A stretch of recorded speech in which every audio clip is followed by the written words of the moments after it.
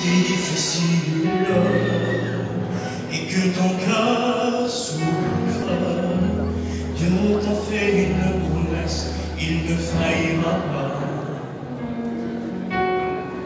Si l'épreuve est tellement